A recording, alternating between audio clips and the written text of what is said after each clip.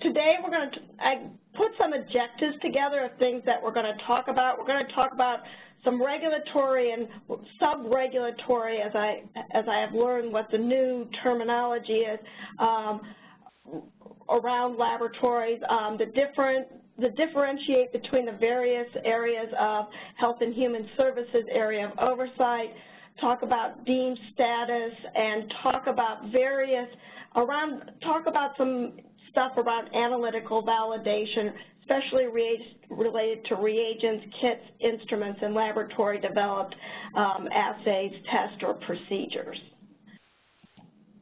I'll use assays, tests, and procedures somewhat interchangeably for um, laboratory developed tests.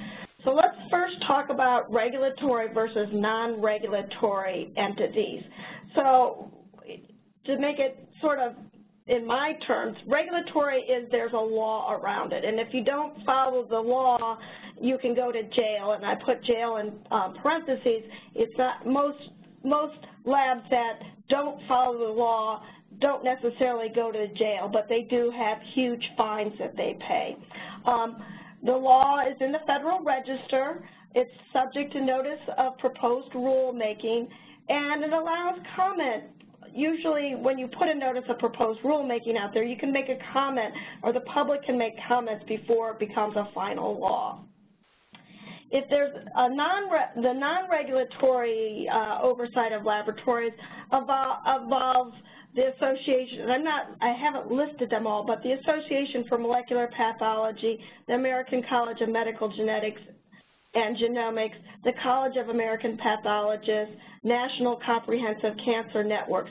They develop guidelines that determine practice of medicine and how laboratories uh, should be, what they should be doing and how they should be doing it.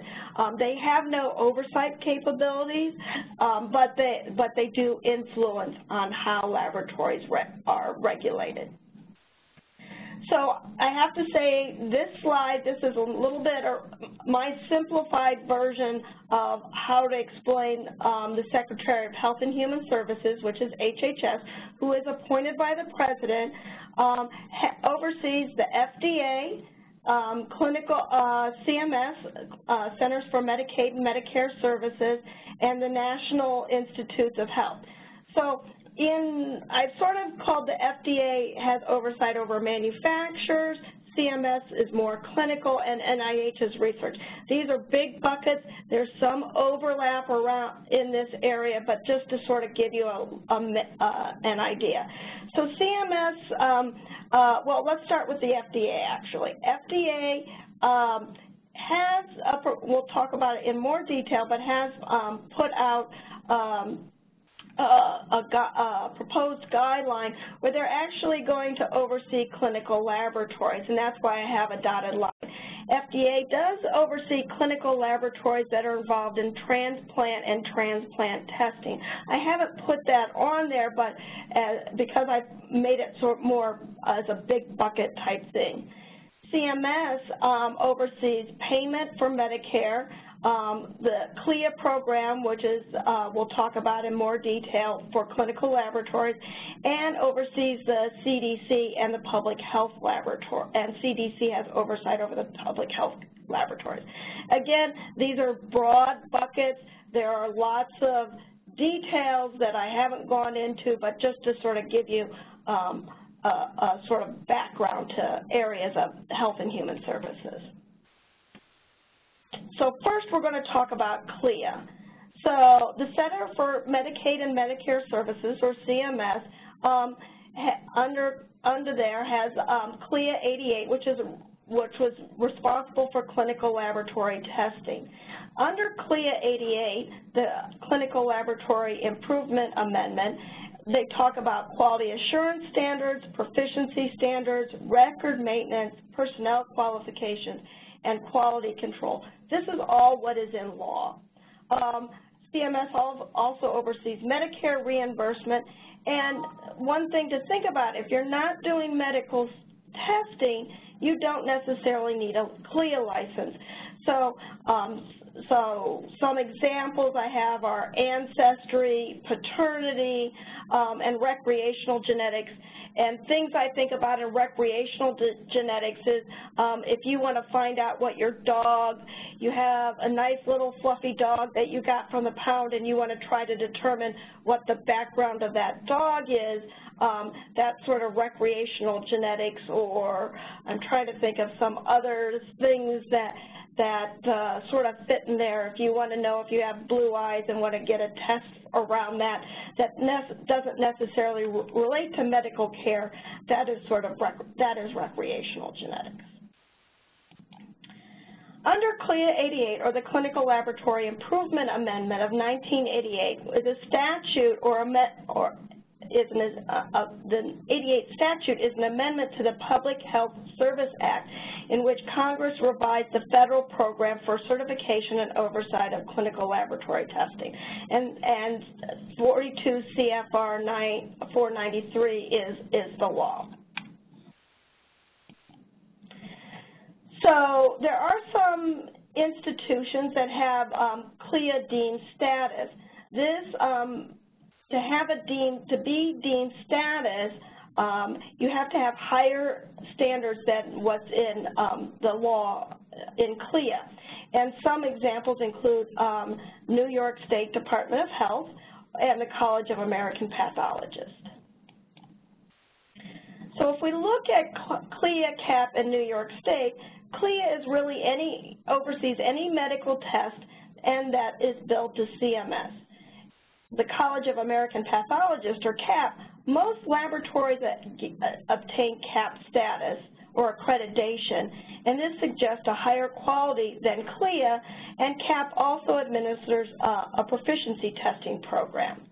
New York State Department of Health is only required for those labs that test patients who reside in the state of New York.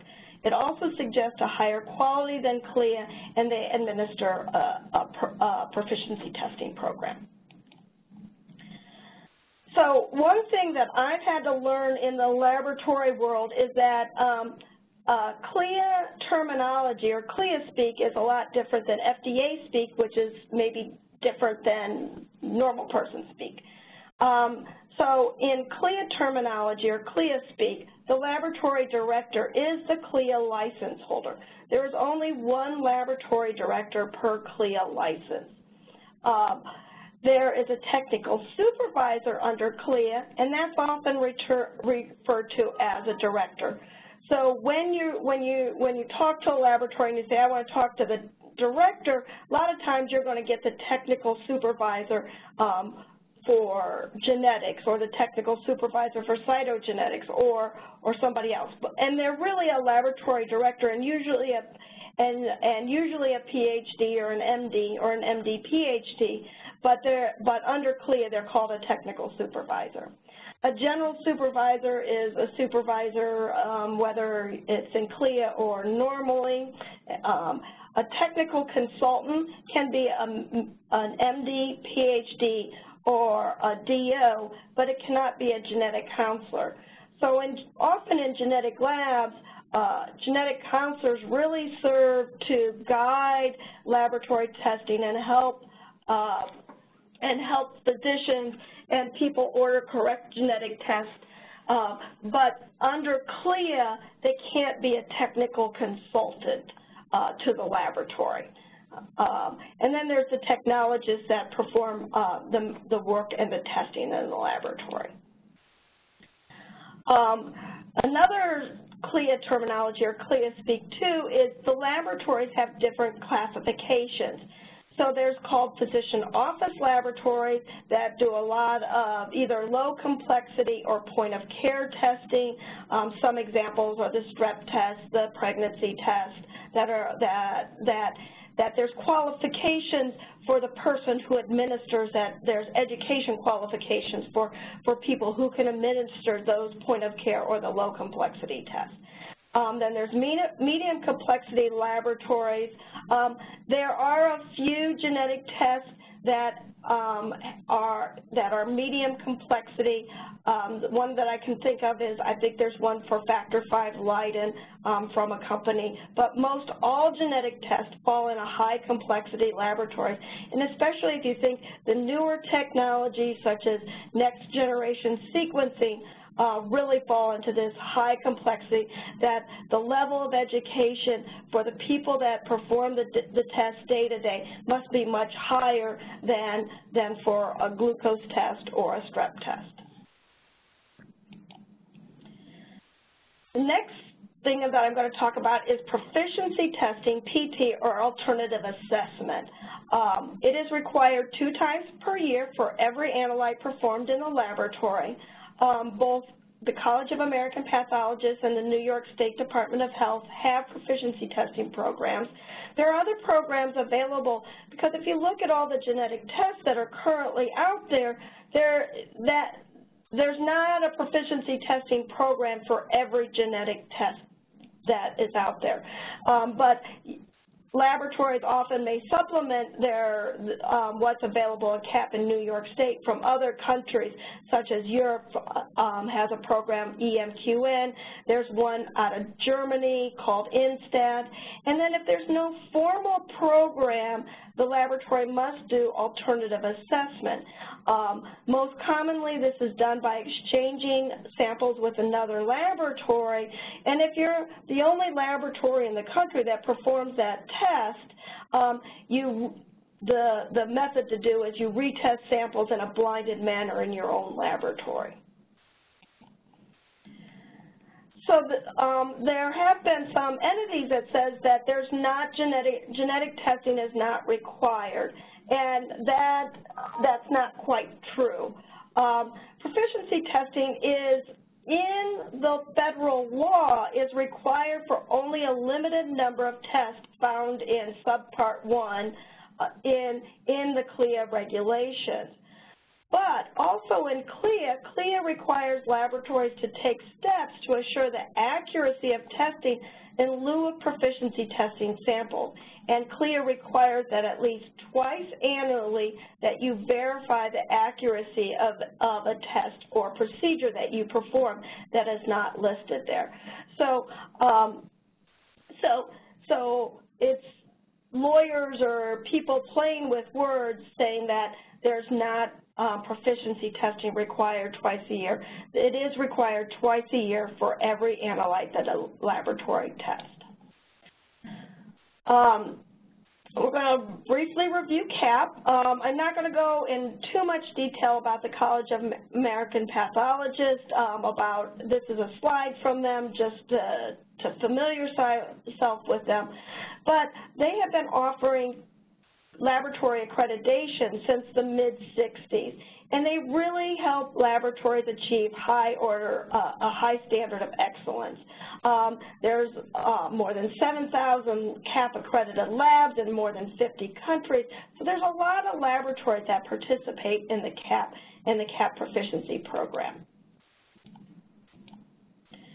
Um, I'm not going to go through this next slide in too much detail. I'm just going to hit on a few highlights um, to, to go over. One is CAP actually comes into the laboratories every other year. They do biennial inspection. And the year that you're not inspected, you do a self-inspection or a self-assessment.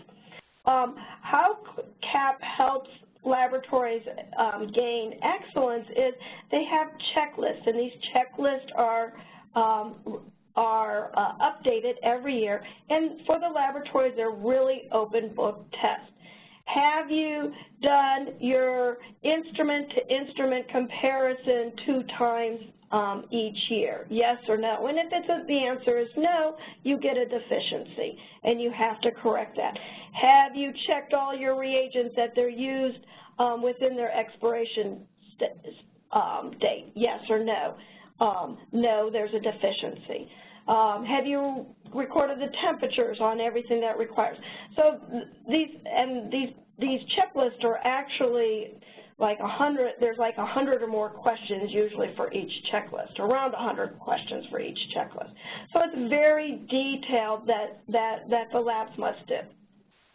The inspectors for CAP are actually other laboratory directors and personnel that, that if your lab gets inspected, then, then part of the CAP process is that CAP will then recruit you to go inspect another laboratory. Um, so um, that, I think that's about it on the highlight of that slide. Um, this is just to say this, again, it's a two-year cycle where one year they come in and inspect and then the next year they, they, the following year that you do a self-assessment. The other thing about these inspections when the inspectors come from CAP is actually they come, it's, it's an unannounced inspection. So in a three-month window, they can show up any day in that three-month window. Um, and not that labs aren't always ready to be inspected, but you never know when your CAP inspector is going to come within that three-month window. Um, so CAP has standards for laboratory accreditation. It includes the, per, the director and the personnel. Um, it require it also involves the physical resources.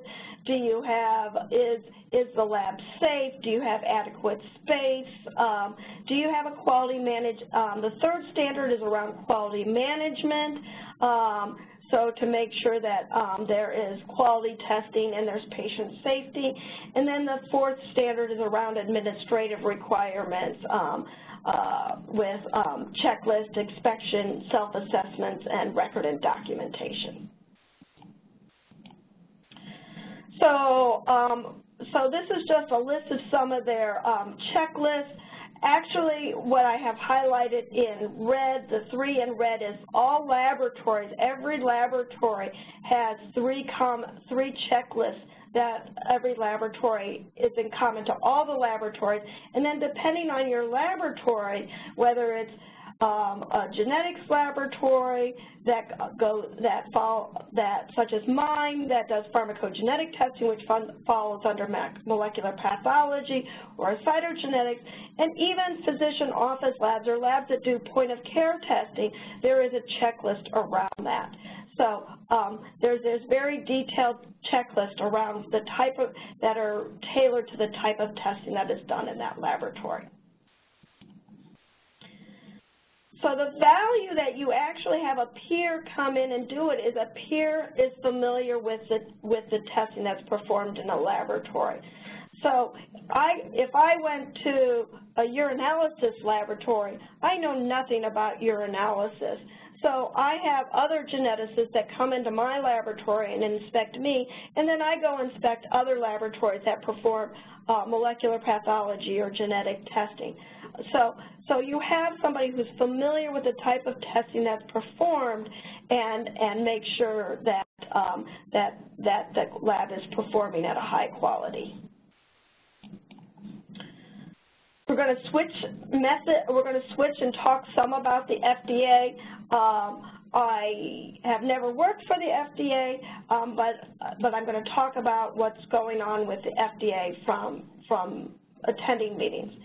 So under the FDA, their mandate under law is to to um, ensure that a device is safe and effective. They have different routes to do that. They have pre-market approval, or a PMA, which is any new device that goes through the FDA.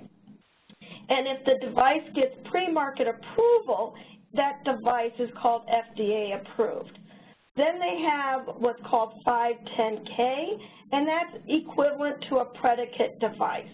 So if a DNA sequencer, um, if we, I'm going to give an example, such as the Illumina DNA sequencer that's for cystic fibrosis that went through as a new device that got FDA approved.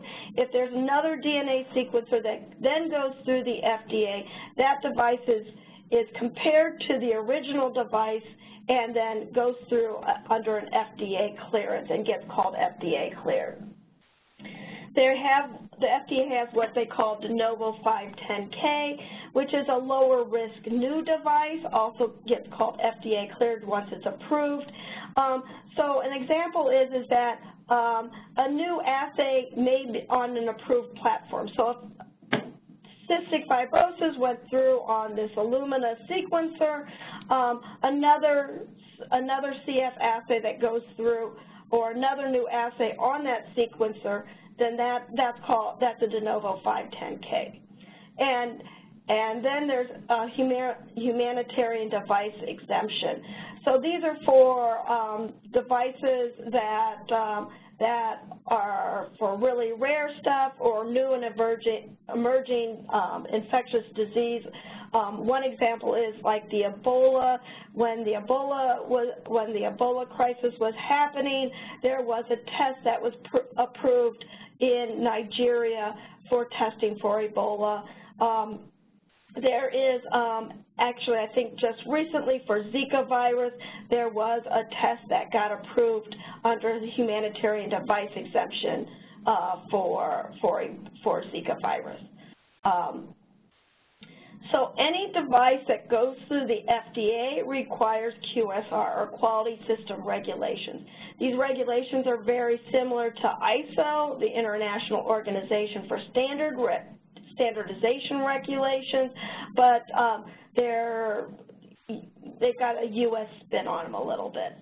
Um, the um, so the only thing to remember is any, and, and the FDA will tell you this too, is any device that is uh, FDA approved or FDA cleared does not determine reimbursement. So there, there may be devices, there may be tests out there that are FDA cleared or approved, but there may be no reimbursement. Um, one such example was the UGT1A1 assay that Hologic had, um, had uh, provided at one time. It was an FDA cleared, I believe it was an FDA cleared device because it was based on a predicate device, um, a new analyte on a predicate device. Um, but there was never any reimbursement for that test. And eventually, uh, the Hologic pulled it from the market um, due to lack of utilization. Um, so I did mention briefly that um, the FDA has issued a draft guidance for the oversight of laboratory-developed tests or laboratory-developed procedures. Um, it was issued, they gave on July 31st in 2014 a 60-day notice to Congress as required by law.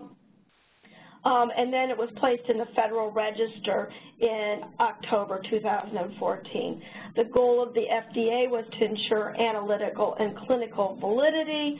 Um, the FDA has said in 2016 that their intent is to finalize the guidance. I don't know the status of this uh, and, and can't comment uh, on that. Um, so where we are in the FDA oversight of LDTs is we're in this sort of neverland right here before um, before year one.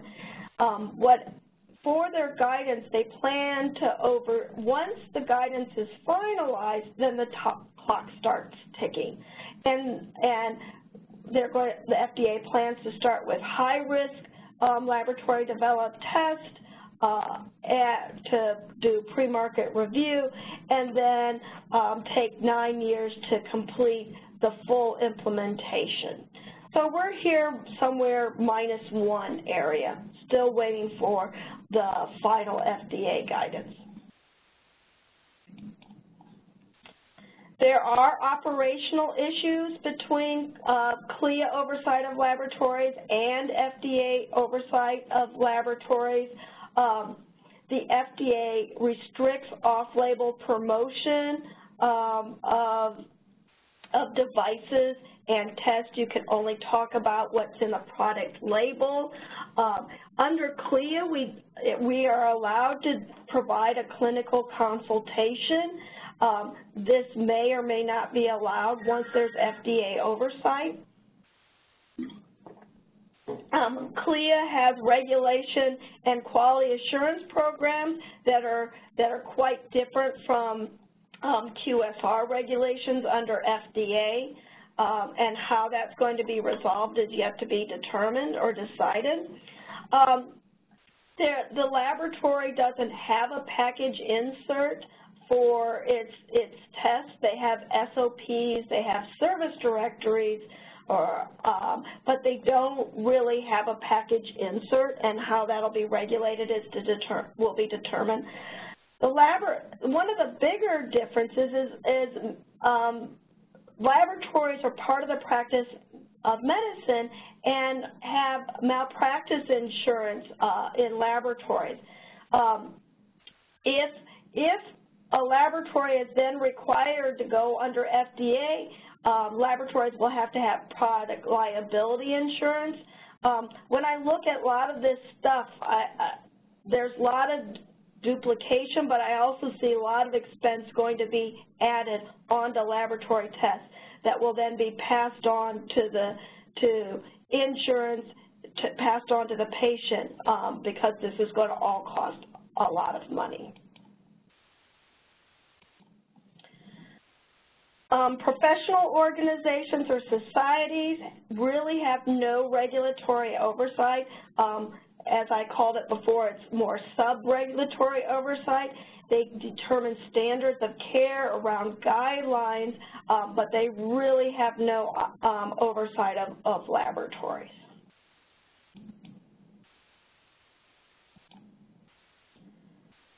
We're going to talk a little bit about um, test kits, um, which are under um, FDA purview. So any um, FDA cleared or approved kit includes all or most of the test components and a written procedure. So like in step one you do this, in step two you incubate, in step three you do this, in step four you do that. There's um, that is an FDA approved kit and I gave an example here such as the Affymetrix cytoscan DX assay that's used for um, cytogenomic uh, arrays uh, for cytogenomic arrays, which is um, FDA cleared, and it went through as a de novo 510K. Any deviations from the product insert or the package insert for that test, the laboratory has to um, validate those changes. Um, so here is an example that I'm providing is the Illumina FDA cleared MiSeq instrument. Um, so the reagents are also FDA cleared um, or approved. And um, so if I use it for a gene, my favorite gene, we'll call it the Vicky gene, if I use it for the Vicky gene, then I have, even though I'm using an FDA cleared instrument and FDA cleared reagent, because that gene is not indicated in the package insert, I have to validate any changes that I make. So I have to do, I have to validate that from beginning to end to make sure that works for that test. There are um, lab tests, and there's very few of them that are called investigational use only, or IUOs. It, excuse me. It includes all or most of the test components and a written procedure. Most of the, there's very few of these on the market. Um, usually these type of tests are undergoing initial development and validation with clinical studies. So when a company is developing a new test um, and they're getting ready to submit to the FDA and they're doing side-by-side -side trials in, in laboratories, um, they, they may use, have an investigational use only. And they're not to be used as a diagnostic procedure without confirmation of the diagnosis by a second medically established diagnostic device or procedure. If you modify any anything in that kit insert or package insert that comes with that test, again you have to you have to validate any changes that are not in the package insert. I will say that laboratories have to consult with their legal legal advisors. Um, some people, um, under the eyes of the FDA, this is still considered an investigational use only device. Um, though some legal, some, some entities, uh, if your legal um, advice may say it would be a laboratory developed procedure. Then there's research use only test out there. It includes all or most of the test components that, and a written procedure. It's intended for performing basic science or animal research um, and, and not intended for diagnostic testing. Um, good, one thing to to remember for research use only test is good manufacturing practices are not required. Um, so there is maybe some quality control issues around um, research use only test. And if, and the FDA does not intend that to be used as a building block for laboratory developed tests or assays. You can modify a research use only. It is still considered a research use only test. And again, it's a, um, the, the institution where you work may consider these um, laboratory developed procedures. I'm telling you what the FDA considers it still to be a, a research use only. There are test kits that you can get from Europe that are CE marked, um, and it's okay to use those in Europe, but in the U.S., if the FDA has not reviewed them, the uh, FDA considers these to be research use only. There are test kits that are for forensics use only that are used in clinical laboratories. Um, one such thing is um, identity testing, um, such as paternity testing. That, that is okay for forensic use, but may be considered research use only in clinical tests because the FDA does not um, oversee, uh, by, I, as far as I'm aware, the FDA does not oversee forensic um, tested test kits. Um, laboratory developed procedures or tests or LDTs or LDPs, um, the components of the assay are determined by the laboratory. And may use kits for part of the assay, and I'll explain how they may use kits in more detail. So we're going to talk about non-kits reagents. So there are analyte-specific reagents, or ASRs. Usually this is a single reagent, such as an antibody or a nucleic acid probe that can be used by laboratories in developing a functional clinical assay. Um, one such example that I could think of are FISH assays that, may, that are not FDA cleared or approved, um, that they use analyte-specific reagents for, for that and are validated in test. Under the, AS, under the ASR rule, the ASRs must register their establishment and list their reagents with the FDA the reagents must be manufactured um, under quality system regulations, and the manufacturer can provide information about the reagent to the user, such as identity or purity, but cannot provide any specific performance characteristics.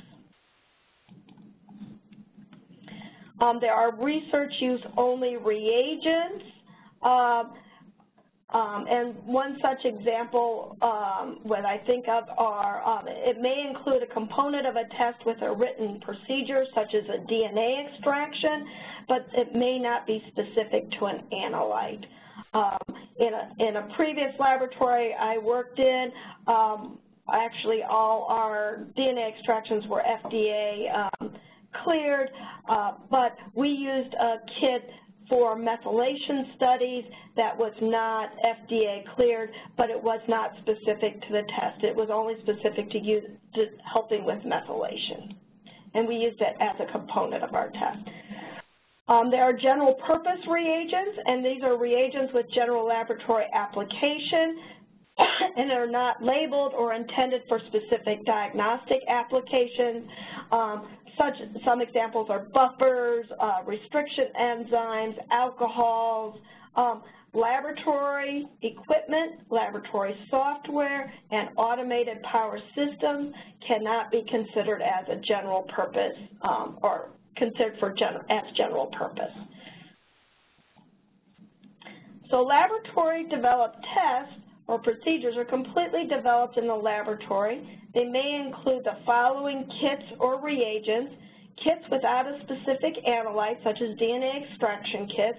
They may include RUO reagents, may or may not, I'm just giving examples, ASRs, and general purpose reagents.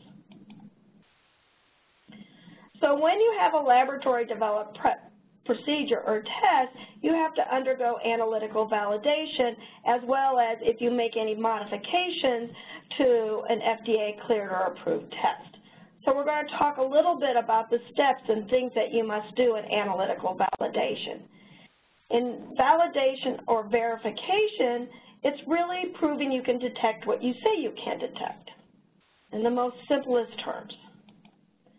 Under verification, you're confirming that the specified requirements have been fulfilled. It's a one-time process to confirm the test performance or characteristics. In the U.S., we use this for all FDA cleared or approved assays where we're not changing what's in the package. We're not changing any steps from what's in the package insert. In Europe, they actually use this term for if there's an existing test or technology in the lab to add in additional analytes. So if you're doing a sequencing testing for cystic fibrosis and you want to add in a sequencing test for something else, when you add in that next gene, that's verification in Europe, but that is, that is not the case for the U.S.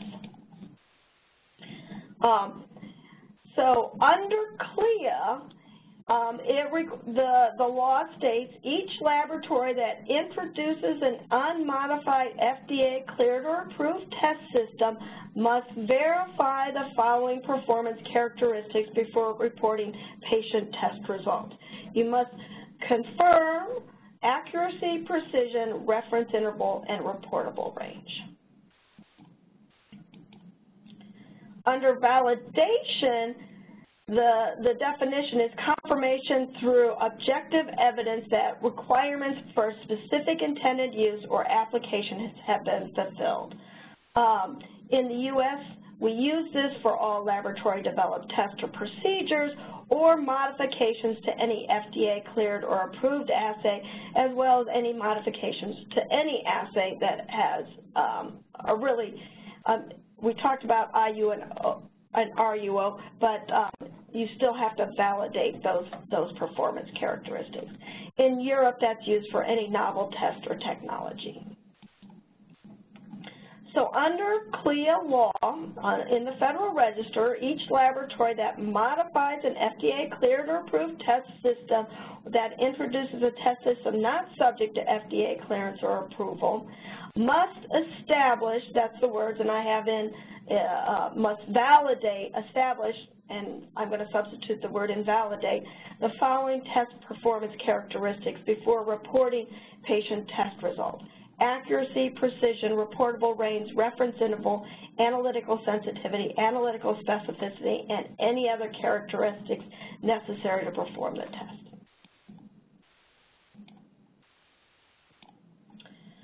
Um, this is just sort of give you a little bit overview of this paper about analytical um, um, validation. Um, is really for any new test, it must go through validation. And many labs actually have um, really the point of this slide is to point out that there's usually ongoing validation in the laboratory. Very rarely is any test, whether it's FDA cleared or approved or lab de developed test, is completely set in stone. There is an SOP. The SOP must be followed in the laboratories, but often there's continual improvement of maybe a physician adds a new, would like a new specimen type accepted by the laboratory. So before the laboratory can accept that specimen type, they have to um, do add in, do a validation before they can accept a new specimen type. So usually there's some sort of ongoing validation. We've had a vendor that discontinued a specific reagent or a specific um, part of the test, and so then you have to revalidate that replacement before you can perform clinical tests. So that's what I mean about ongoing validation. So in my mind, and I've been doing analytical validation for a long time, I think the words are very confusing. What does sensitivity mean? What does specificity mean? People talk about it and refer to it as different things. And I'm going to give you my definitions of it. So accuracy is trueness of a measurement. Uh, it's really a formula. Accuracy is equal to the true result over the true result plus the false result. And I really like the bullseye uh, analogy here that I've provided, that an accurate and precise result is actually hits that bullseye. An assay that's accurate but not quite precise is near the bullseye, is around the bullseye, but not dead square in that in the center of the bullseye. You can have an assay that's not accurate but very precise, which is the, the dots are clustered together, but they're not in the bullseye, so it's not accurate. And then you can have a not accurate and not precise, where there's lots of scatter and, and, very, and one or very few samples hit the bullseye. Precision, so we had a little bit about the precision just in the previous slide. In this it's really the repeatability and the reproducibility of a test result. Um, this can vary some within the technologist, so just, you know, setting up the test day in, day out, a different day, they can have slight variability in what they do and how they do things.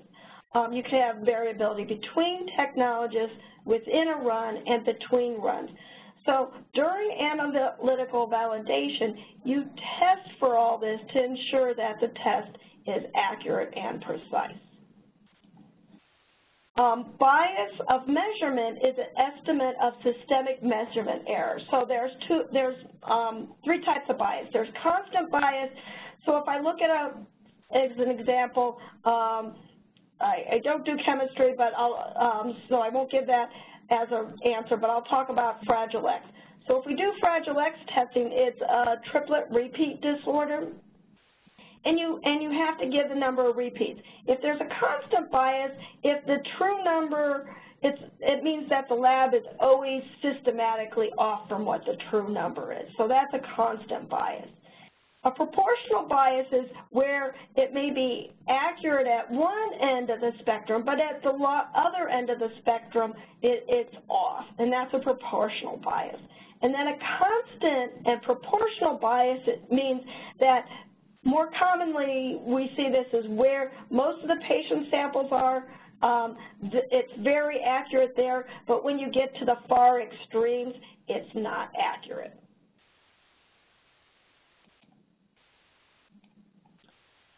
Analytical sensitivity, um, I refer to this as the ability of a test to detect a mutation or when the mutation is, a, is, is present. This is really, um, it's an equation.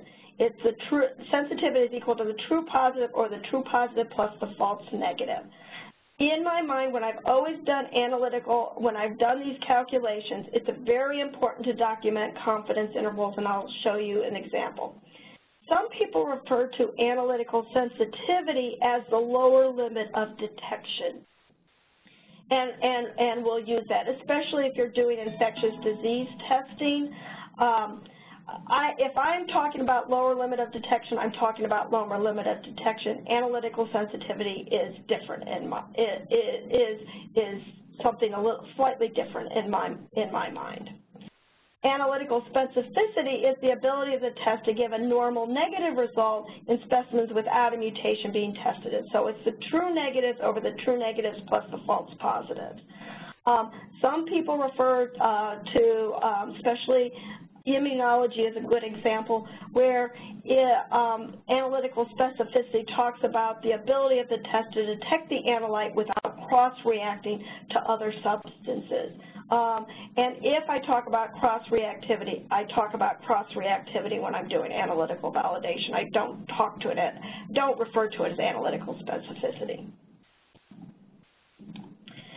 So if I'm going to use an example, if I test in my analytical validation, if I obtain 25 positives and I and 75 negatives, and I do my test, um, and I get 25 positives in those positive samples and and 75 negatives in those negative samples, and no false negatives and no false positives. My analytic my my analytical sensitivity is 80 about 86%, and my analytical specificity is 95%. And it's a function of these numbers. Um, but, or, I mean, the analytical sensitivity is 100% and specificity is 100%, but the confidence interval is 86 to 100% and 95 to 100%.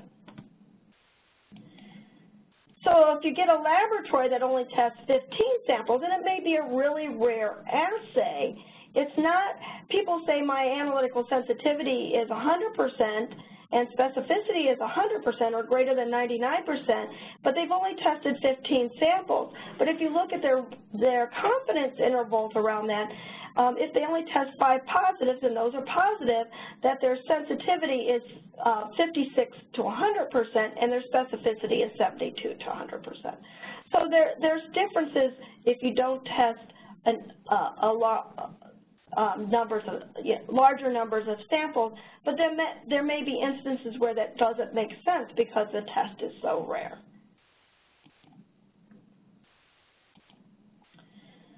Um, I'm going to, uh, in the interest of time, because we're getting close to the end, I'm going to sort of go over these very quickly.